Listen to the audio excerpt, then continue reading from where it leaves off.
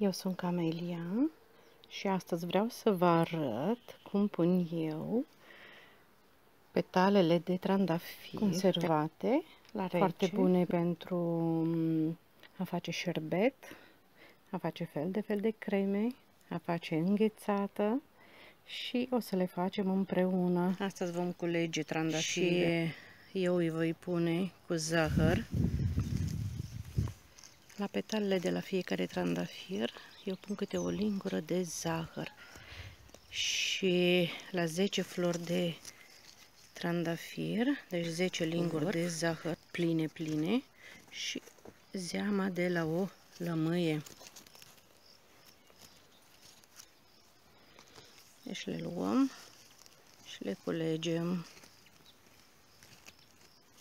Deci avem petale de trandafiri și le vom pune cu zahăr și cu zeamă de lămâie. Aici avem zahărul și la fiecare trandafir scoatem petalele, le spălăm.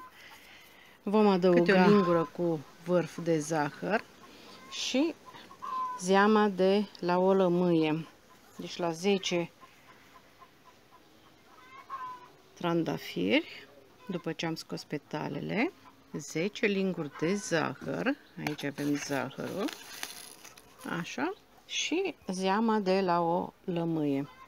Și acum, peste petalele noastre, ia uitați-le ce frumoase sunt, aici avem 10 trandafiri, deci am scos petalele, le-am spălat și punem 10 linguri Așa, să fie cu puțin vârf.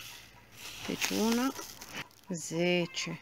Acum vom adăuga și zeama de la o lămâie și vom amesteca la ce o să folosim aceste petale de trandafir cu zeamă de lămâie și cu vom folosi la șerbet, la înghețată o să facem, o să facem prăjituri la creme. Așa, vedeți? Și amestecăm așa bine până se topește zahărul. După ce s-a topit zahărul, vom pune în borcanel, îl închidem și îl sigilăm foarte bine și îl conservăm. Trandafiri pentru dulceață și pentru a fi conservate petalele la rece, doar cu zahăr și cu zeamă de lămâie.